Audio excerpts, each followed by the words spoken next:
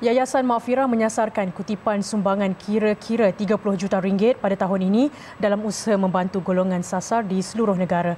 Menurut Ketua Pegawai Eksekutifnya Muhammad Shuim Nordin, sejak lima tahun penubuhannya, Yayasan Makfirah tidak pernah gagal mengagihkan bantuan yang dilakukan secara berterusan menerusi pelbagai projek pembangunan dan pendidikan dakwah termasuk kempen raikan Ramadan setiap tahun.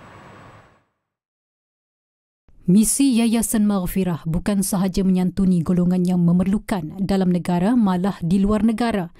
Uh, Yayasan Maghfirah juga kalau dulu pada tahun 2020-2021 kita uh, hampir 20 ke 25 projek.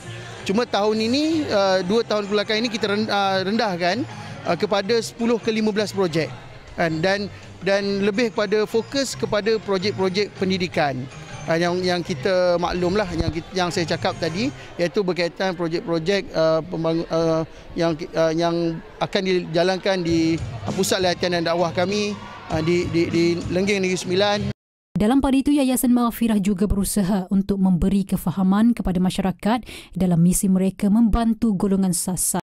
Sepanjang lima tahun ini, saya kira tidaklah ada kekurangan tetapi cabaran itu besar terutamanya dari aspek nakkan kepada masyarakat faham apa yang kita hasratkan untuk membantu golongan OKU, golongan yang kekurangan, golongan yang memerlukan bantuan yang mana kita tengok dari aspek ini uh, kita harapkan masyarakat menghayati apa yang telah dilakukan oleh Rasulullah yang mana golongan-golongan ini yang menjadi sasaran Rasulullah untuk diberikan bimbingan dan bantuan agar mereka ni tak tersisih daripada golongan masyarakat itu sendiri insya-Allah.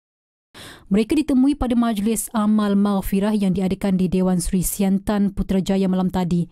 Majlis berbuka puasa secara besar-besaran ini turut meraihkan pelajar tahfiz, orang kelainan upaya dan anak-anak asnaf tajahan kelas sahabat Al-Quran Yayasan Maghfirah. Majlis dirasmikan pengarah pengedaran perbankan runcit Bank Islam Malaysia Berhad Zamri Muhammad.